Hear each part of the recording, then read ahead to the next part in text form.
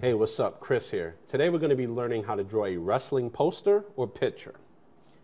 So, since it's a poster or a picture, we're going to start with the frame. So, we are going to draw that a line there,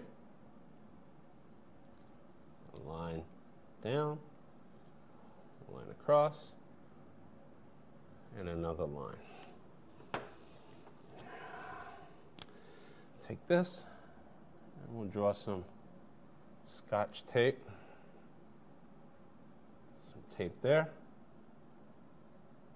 Some tape there. Keep that poster on the wall. So, what we will do is, we'll just start with some lettering.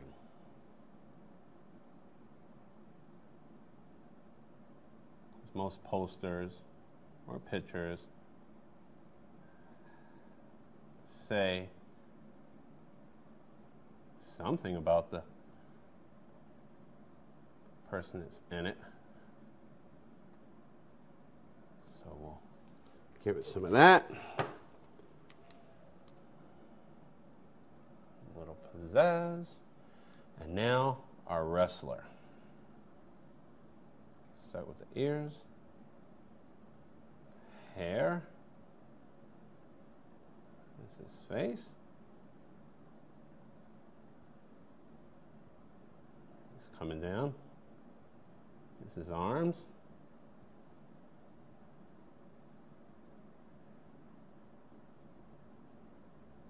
Here's his hand. This is his other hand. His hands in a fist. That's his chest. Bring the body down. Six pack. And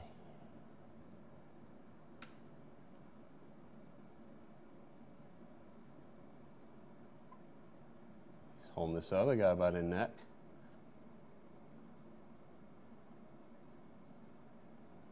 There he goes.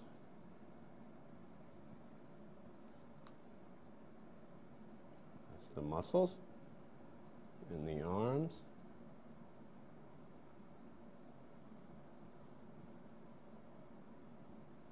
His boots. And this guy with his legs.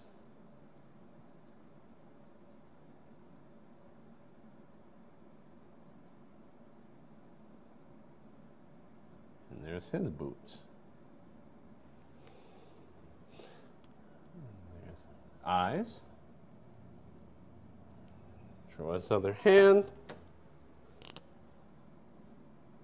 is the floor,